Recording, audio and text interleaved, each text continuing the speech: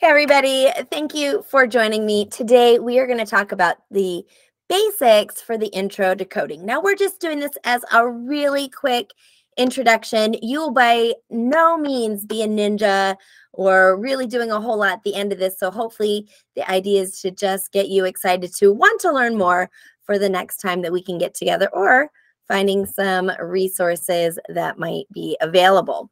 So this is the basic intro to coding. Um, okay, basic intro. Oh, my presentation got booted for some reason. So I am hmm. making an attempt to use my phone. I've got the slides on my phone and somebody coded this not with Google Apps Script to allow me to present to this using my phone. We're going to see if this is going to work. It says joining. If not, I got to do it the old fashioned way. Hmm. All right, let this be a lesson to you that your code will also break and not work. And that really smart people at Google uh, do things that don't always work all the time too. Okay, do this the old fashioned way. I'm going to share my window. That's right. I got a backup plan. It was working though. I should point out it was working. Started. Okay. So we're going to code Google Docs, Google Sheets, Google Slides, and honestly, you can do forms, you can do classroom, you can do maps. Uh, but I think at a really basic level, let's just let's just talk about docs, sheets, and slides. And so if you want to code docs, sheets, and slides, you wanted to do something that you're like, why doesn't it do this? Why can't I do this in docs? Why can't I do this in sheets? Why can't I do this in slides? Well, you might be able to. And that's with Google Apps Script. Google Apps Script, and it's based on JavaScript. It is helpful to know about uh, 10 lines of JavaScript. Like you, you really don't need to know a lot. It, it, it but some. It, it would be helpful to know some. Okay.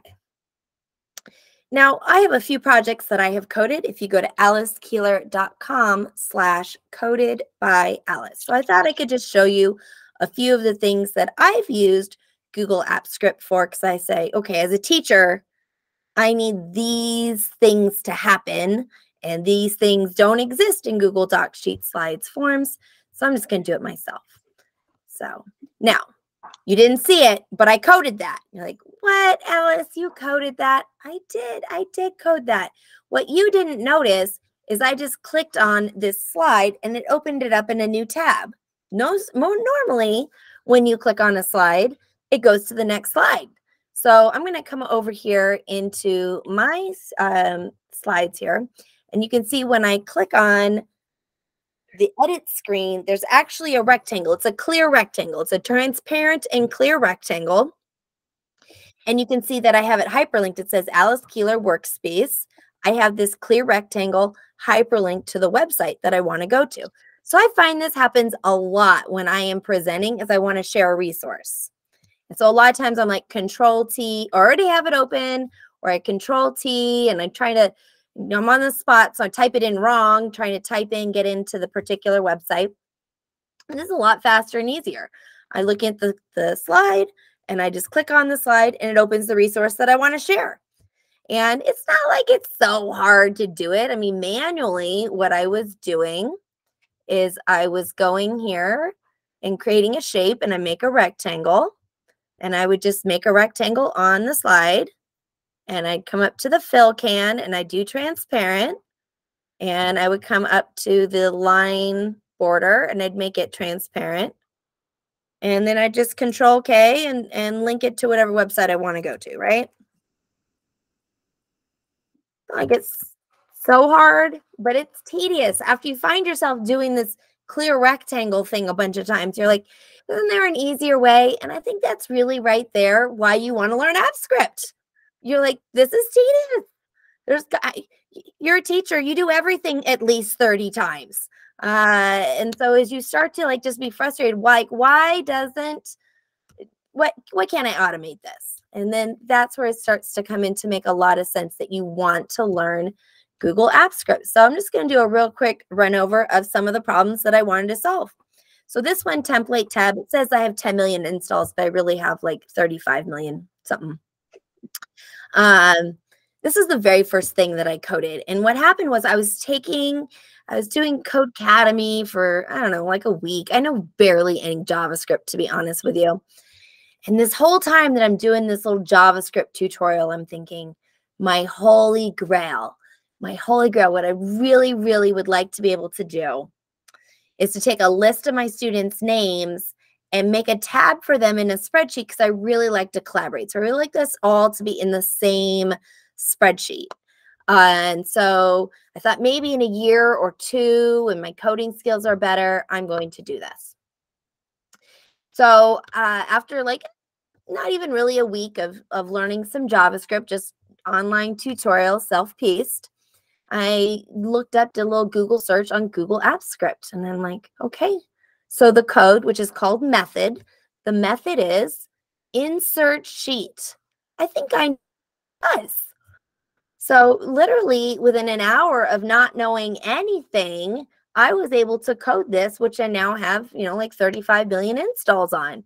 It's super helpful. I just, you can see here from the screenshots, you just put a list of the students' names and you go up into the, what's now the extensions menu, it was the add-ons menu, and you just run it. And if you have a graphic organizer, if your second sheet has some sort of template for the students, it'll duplicate that template for each of the students. It is super helpful as a teacher, let me tell you. This will save you a lot of time and just really let you rethink some of the activities that you do. So um, that was my first thing that I coded. And you can just install that. And, and honestly, it's probably about 10 lines of code. It's It wasn't even very hard. Um, but it, doing manually, if you were to create a tab in a spreadsheet for every student in your class, just forget about it. It's so slow. It's painful, really. And this makes it really easy. This doc to slides takes your Google Doc and turns it into slides. It's like magic. I mean, look at this. I'm going to go docs.new. Wait for this sucker to load. Come on. And put Alice, Marsha, Nisha. All right. And just come here to the extensions menu, doc to slides. Look how fast this is. I'm going to choose doc to slides It's going to put what's in my Google Doc into Google Slides really quick. Um, I don't know why it does that. That's my fault. Obviously, because I coded it. So everything's my fault. Um, anyway, I put two. Here it goes. I use this a lot. I, I just I have some sort of a handout. You have a flyer or something you've made. You just put use the doc to slides. Boom. Now it's in slides and it makes it really easy to present some information that you had. So it takes each paragraph. So every time you push enter, it's going to make a new slide when you push enter. So just don't be too wordy in your paragraphs. It's pretty nice. It does other things too. And okay. So this audience participator lets people fill out a Google form, becomes your slides.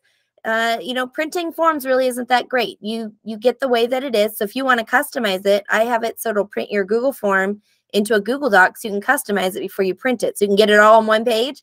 Yeah, super helpful. It also will print students' responses.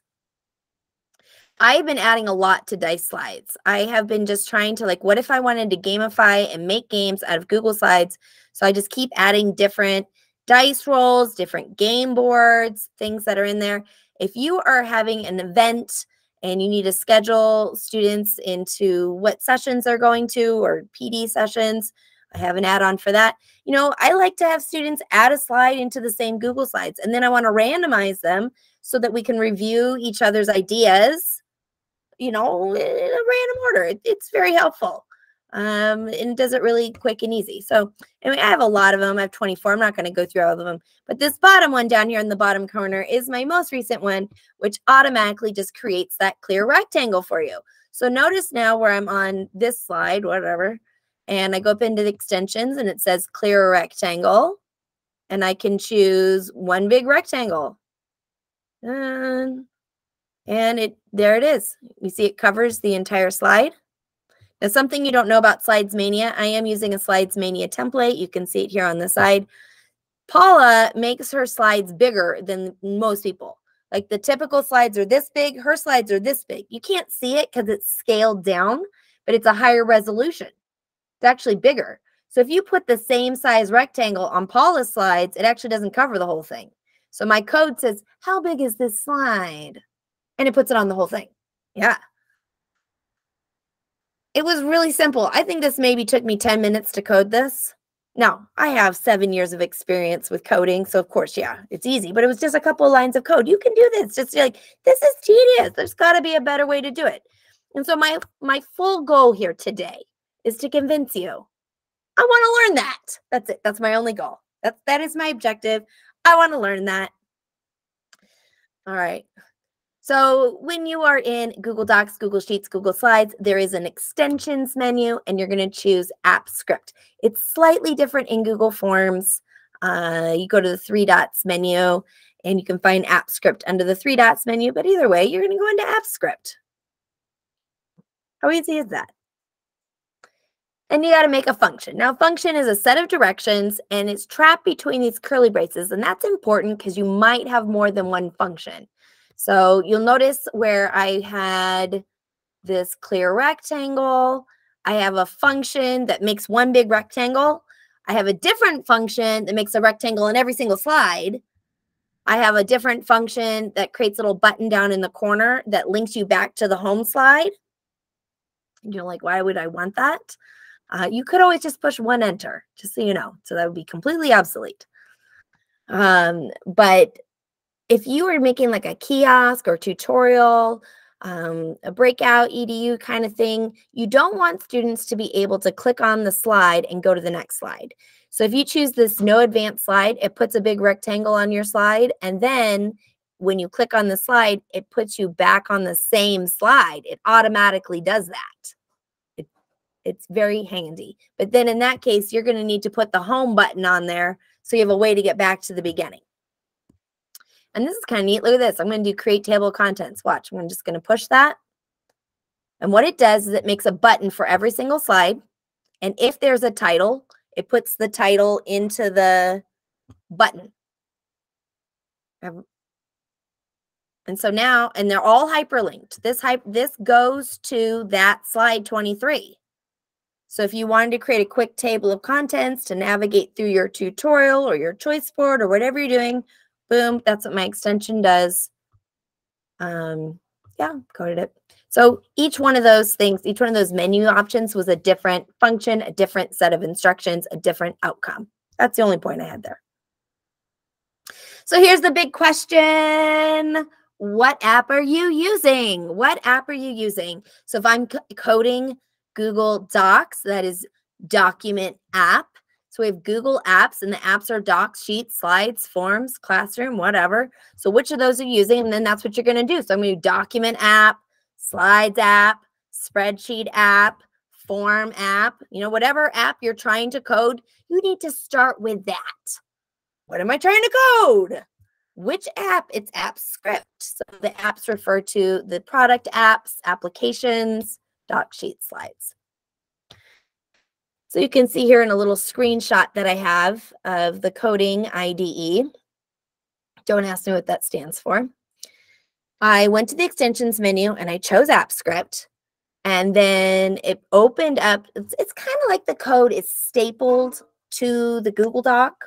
This is a bounded script. You can do an unbounded script, which means it's the code is completely separate from any particular document. I don't think you should start there. I think you should start with a bounded script. You know what's nice about a bounded script is I take a Google Doc, I take a Google Sheets, I take a Google Slides, and I make a template. And then I want to have some code do some action on this template.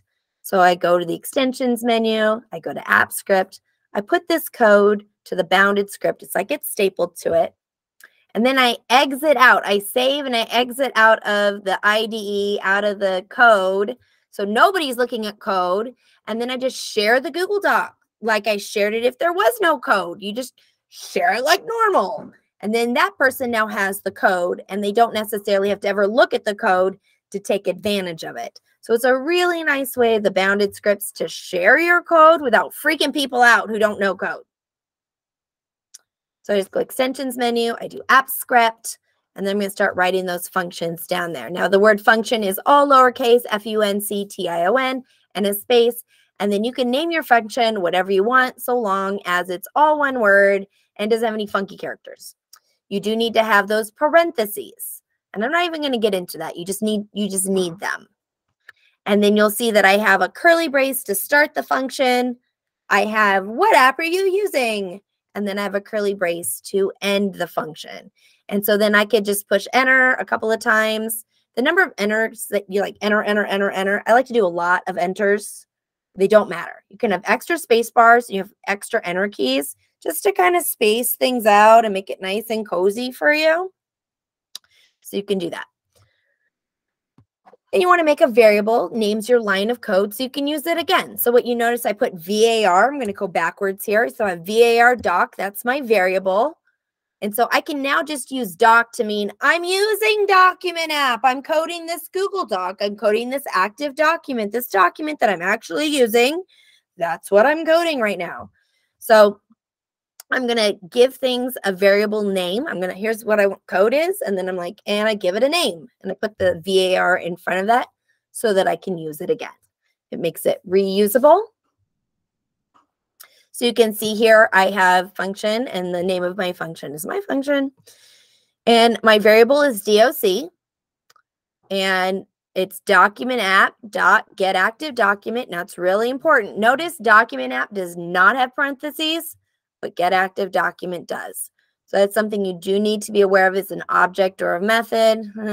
Those are some JavaScript vocabulary words. Basically, just get used to it lots of parentheses you have to throw around. And then I and then I put a semicolon at the end. Like, and I'm done with this line of code.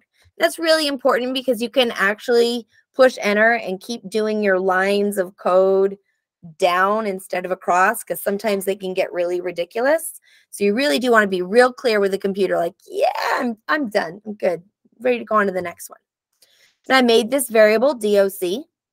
Well, I made it, I'm going to use it. So I type DOC on the next line. I made it, you know, and then I'm going to, I got this variable body. I made it. I'm going to use it. I'm going to type body somewhere.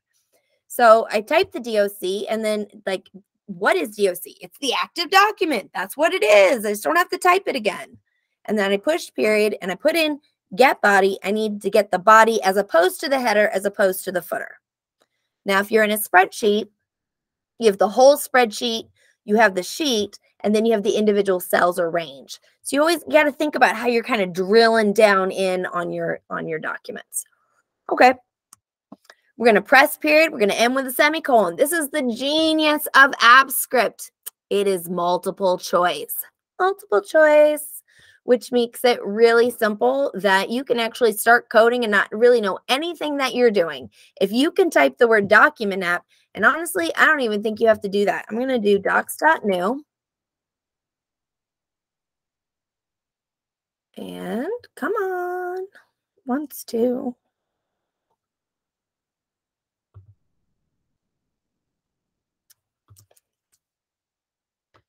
I'm coming up here to the extensions menu. I'm going to go to AppScript.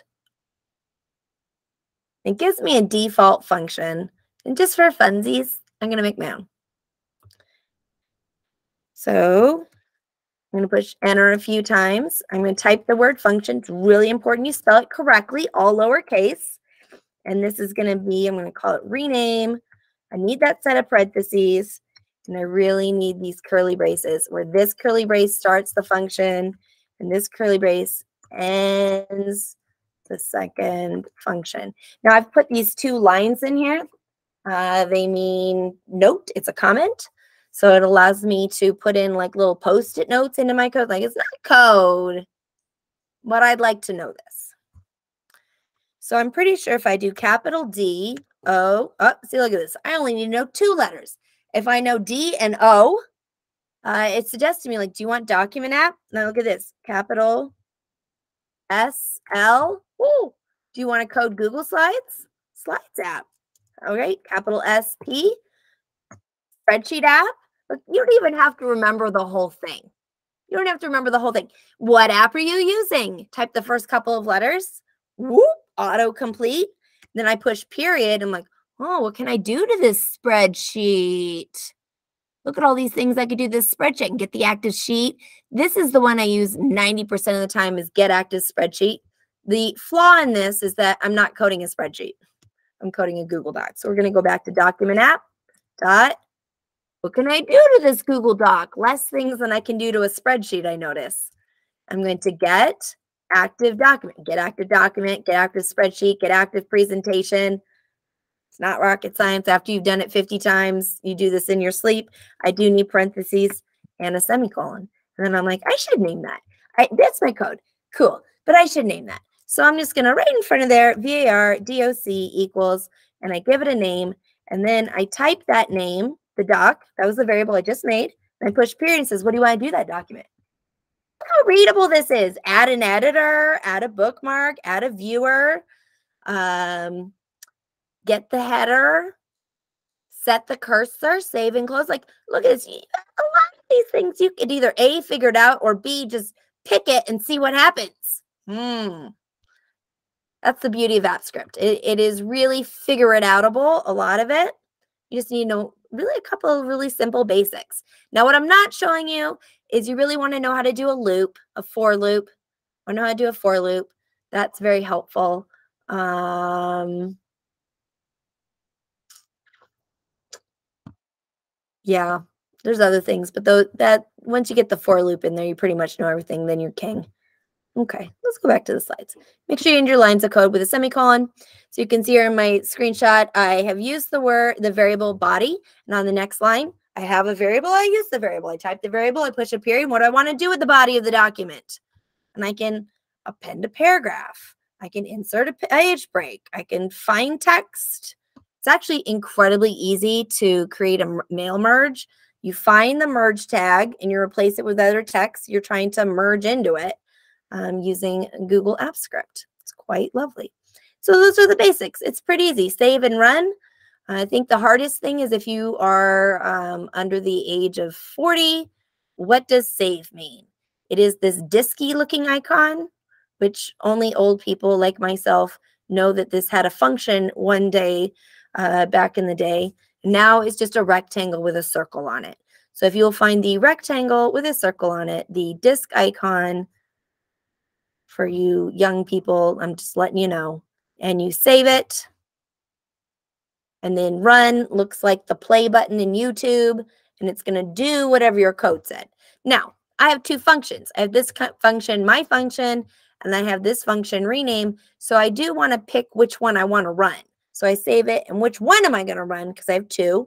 And you saw in the rectangle one, I had at least six, seven. I had at least seven. I had more than that, but at least seven. Uh, so you do want to tell it which one you want to run. Nothing's going to happen because this code literally has nothing in it, but I'm going to run it anyway for funsies. And it's going to give me this scary screen of doom that you're going to get every single time you try to code that says it's going to take your firstborn child and burn down your house. No, that's not what it says, but it's going to feel like it. Uh, okay. So I don't think you can see this because it's in a pop-up window, but it says this project will allow you to see, edit, create, and delete all of your Google Docs. No, no, it won't.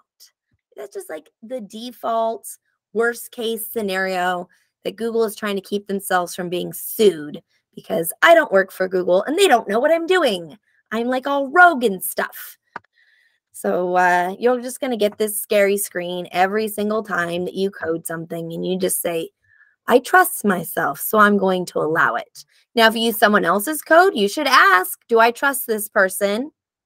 Otherwise, don't do it. That's basically the bottom line. Uh, unless you know how to check someone's code for malicious code, it really just comes down to trust. Okay, that's as simple as it is. And I'm going to see if anyone has any questions.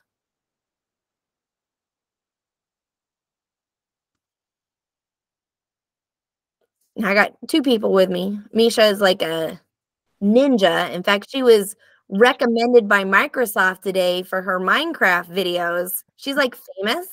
Mm, so you should go check out her Minecraft, teaching with Minecraft, Minecraft EDU playlist that she has. Maybe I can uh, share that out for you later. So she's like, I know all of this, Ansem. So maybe, Misha, you could think of a tip that you would share with people who are new to Google Apps Script the suggestions are very, very helpful.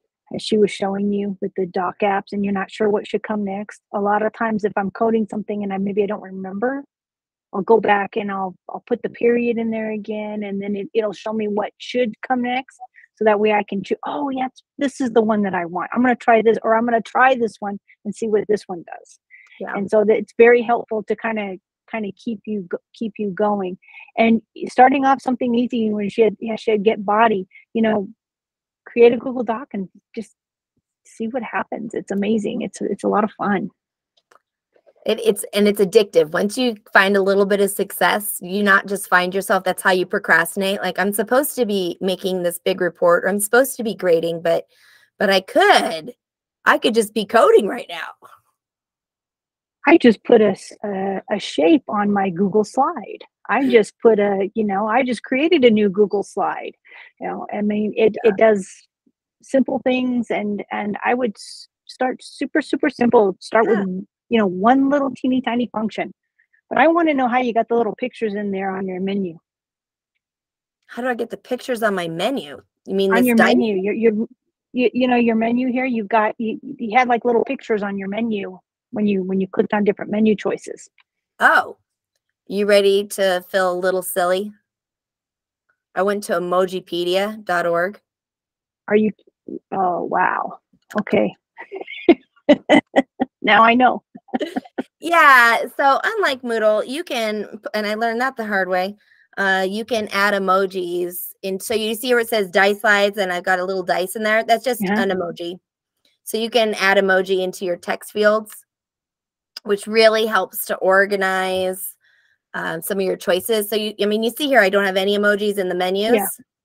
And it, it would probably be helpful if like I had the math dice versus the games have a differentiating emoji, just your eye comes to it more quickly. So I am trying to do a little bit more to those. The reason I have this emoji here in the middle says dice slides and then the dice emoji is because uh, it alphabetizes, you know, this whole list alphabetizes. So when I look for dice slides and the emojis at the bottom, uh, I was struggling. So then I moved it to the middle because I did like the idea of having a dice for my dice slides. Uh, but yeah, those are so now th- this half hour was worth it for you, Misha. Now you've learned a nice trick that you can add into your menus uh, fun little icons. Yes, very, very cool. Very cool. Any other questions?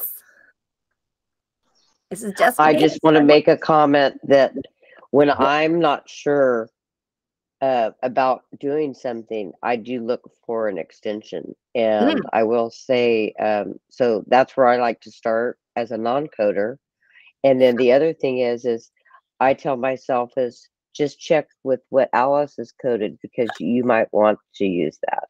Yeah, thanks. I, I appreciate the plug. I do have a lot, a lot of things. And and what I in fact, this just happened the other day. I saw someone tweet out, her name is Pam Harris, and she was tweeting out that she had, I'm going to show you this, um, factor puzzles. And so she showed a template of these factor puzzles.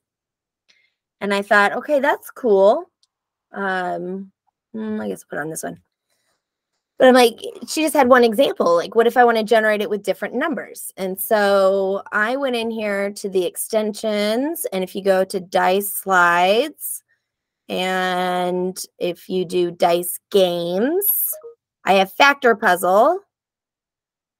Pam Harris factor puzzles. I'm just going to add a puzzle and it's just going to add this to any slide. So this is the slide I'm looking at. It's going to add a factor puzzle there so that I'm able to just do a quick warm up with students. So to your point, Marcia, you know, when I'm talking with teachers, I'm having conversations or I see people sharing on Twitter or Facebook uh, some different things. And I'm like, well, you know, I think I could make a resource for that. I, a lot of times I do. So I do have quite a few things um, that I hope is really helpful to people because that's the goal. So just so you know, these two numbers in the middle are supposed to uh, add to the bottom number and multiply to the top number. So what in nine gives you eight, and then what do those multiply to? So just helping you just do a little warm up for funsies. All right, you guys, thank you for joining me. I hope that you feel like I want to know how to code And that would just be my goal is just encouraging you to get started. Absolutely.